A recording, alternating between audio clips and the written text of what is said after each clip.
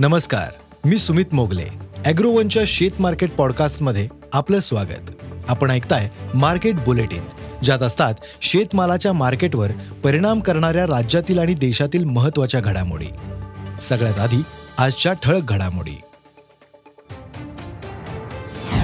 देशात कापूस लागवडीत वाढ झाल्या. उडदाचा दर चढ राहण्याचा अंदाज आहे. भारताच्या गहू निर्यात बंदीचा आता सध्या बांगलादेश बळी ठरलाय.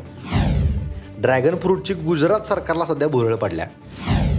आणि ह्या वर्षी देशात आत्तापर्यंत एकूण म्हणजे कडधान्यांचा पेरा वाढला असला तरी तुरीची पेरणी मात्र चौदा टक्क्यांना घटल्या. त्यामागची कारणं काय आहेत? तुरीचं दर यंदा कसं राहतील त्याबद्दल ऐकूयात मार्केट बुलेटिनच्या शेवटी.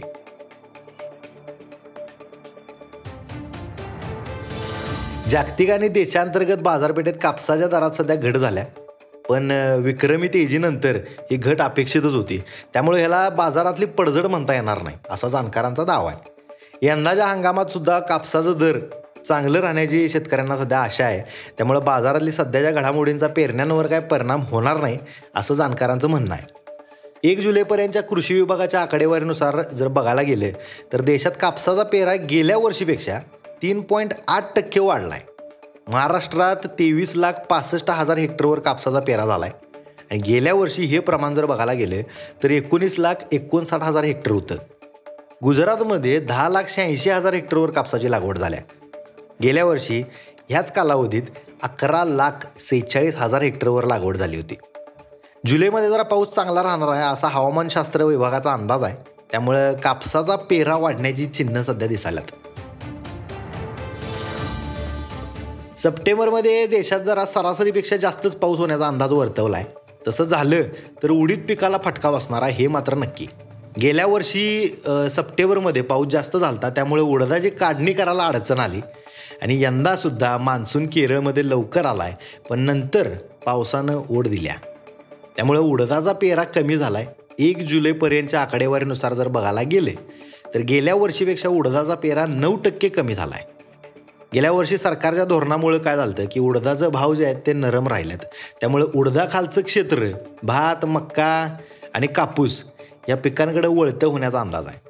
त्यातच उडदाच्या आयात कमी व्हायला सरकारकडे उडदाचा फारसा असा साठा काय नाही आहे. यंदाच्या हंगामात सरकार चार लाख टन उडदाचा साठा करणार आहे असं सांगितले. या सगळ्या कारणामुळे ह्या वर्षी उडदाचं दर मात्र चढत राहणार आहेत असा बाजार विश्लेषकांचा अंदाज आहे. थोडक्यात ह्यो प्रामाणिक अंदाज आहे. भारतानं गव्हाच्या निर्यातीवर बंदी घालून आता जवळपास दीड महिना उलटून गेला आहे पण अजूनसुद्धा जागतिक पातळीवर त्याचा पडसाद उमटा लागलात. जागतिक व्यापार संघटनेनं म्हणजे डब्ल्यू टी ओनं भारतावर कठोर शब्दात टीका केल्या. भारताच्या या निर्णयामुळे जागतिक अन्न संकट गंभीर होणार. या सगळ्याचा फटका गरीब देशांना मोठ्या प्रमाणात बसणार असा इशारासुद्धा डब्ल्यू टी ओनं दिला आहे बांगलादेश हा भारताच्या निर्णयाचा सगळ्यात मोठा बळी ठरला आहे गहू निर्यात बंदीच्या निर्णयापूर्वी बांगलादेशला भारतीय गव्हासाठी प्रति टन चारशे डॉलर्स मोजावं लागत होतं. आता बांगलादेशला गव्हासाठी खूप जास्त खर्च करावा लागला आहे असं डब्ल्यू टी ओनं म्हटलंय.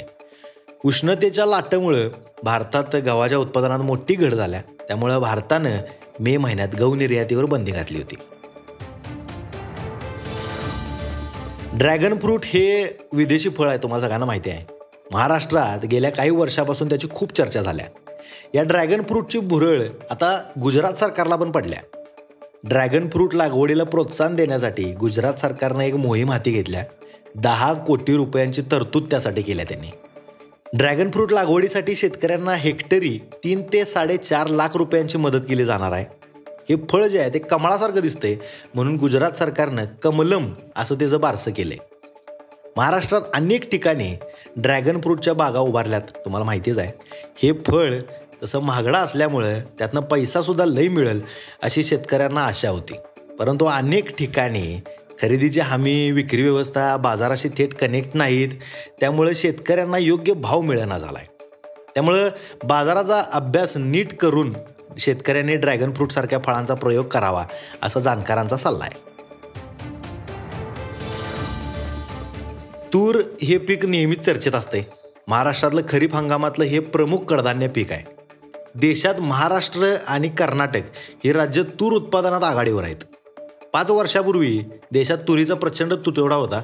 तूर डाळ दोनशे रुपये किलोवर गेली त्यामुळं केंद्र सरकार घायाकुतीला आलं होतं.